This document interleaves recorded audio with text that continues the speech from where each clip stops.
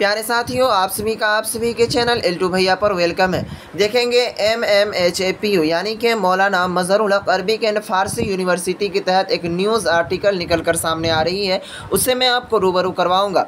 तो जी हाँ देखेंगे, वो ख़बर क्या है, वो आर्टिकल क्या है तो जिसके वजह से आप सभी का जो रिज़ल्ट देरी हो रहा था और इसी वजह था, मुझे जहाँ तक लग रहा है, सूत्रों के हवाले से यही खबर निकल कर सामने आ रही है। तो चलेंगे, उस नोटिफिकेशन उस आर्टिकल को हम दिखाएँगे। इससे पहले आपसे एक छोटा सा रिक्वेस्ट है, अगर आपने इस चैनल को अभी तक सब्सक्राइब नहीं किया तो इस चैनल को ज़रूर सब्सक्राइब कर लें, और अगर अब भी आपके पास कोई कॉमेंट हो तो हमारे कॉमेंट बॉक्स में बताने की ज़रूर कोशिश कीजिएगा, और वो कॉमेंट रिप्लाई देने की लाइक होगी तो इन मैं हंड्रेड परसेंट रिप्ले ज़रूर दूँगा। तो चलिए, वीडियो को शुरू करते हैं।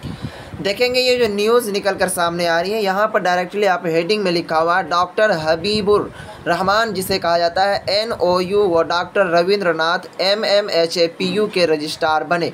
यानी कि डॉक्टर हबीबुर रहमान जो थे, पहले registrar M M H P H A P U यानी कि Maulana Masrul Arabic and Farsi university के थे। अब वो जो है एन ओ यू यानी कि नालंदा खुला विश्वविद्यालय यूनिवर्सिटी का जो है, वो रजिस्ट्रार बन गया है। और आगे देखेंगे, बताने की मैं कोशिश कर रहा हूँ। यहाँ पर डायरेक्टली लिखा हुआ है, मौलाना मजहरुल अरबी एवं फारसी यूनिवर्सिटी के रजिस्ट्रार डॉक्टर हबीबुर रहमान को। नालंदा खुला विश्वविद्यालय का रजिस्ट्रार बनाया गया है। उसके बाद देखेंगे, आगे डायरेक्टली लिखा हुआ है कि नालंदा खुला विश्वविद्यालय के प्रशासनिक डॉक्टर घनश्याम राय को पूर्णिया यूनिवर्सिटी का रजिस्ट्रार बनाया गया है।